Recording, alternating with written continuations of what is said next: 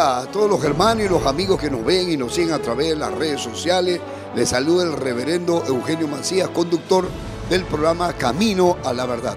En esta oportunidad, para hacerles una preciosa invitación a nuestro, nuestro primer aniversario, hermano, lo estaremos celebrando en un coliseo.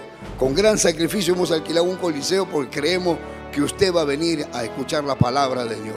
Escuchará testimonio de vidas cambiadas, de enfermos sanados, de personas que han querido suicidarse, que han escapado de la droga. Dios ha hecho cosas muy grandes. Escuchará testimonio de un hermano que ha venido de Panamá, que Dios lo ha cambiado, lo ha transformado.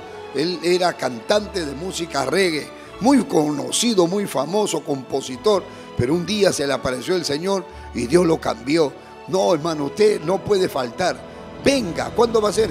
El viernes 17 y sábado 18. ¿A qué hora va a comenzar? Va a ser a partir de las seis y media, siete de la noche. Podrá ver en pantalla gigante el Apocalipsis. Voy a predicar el mensaje para el tiempo final. Usted y su familia no se puede perder este culto. ¿Dónde va a ser, pastor? En la avenida Cuenca y la Cesta, en el Coliseo de los Padres Josefinos.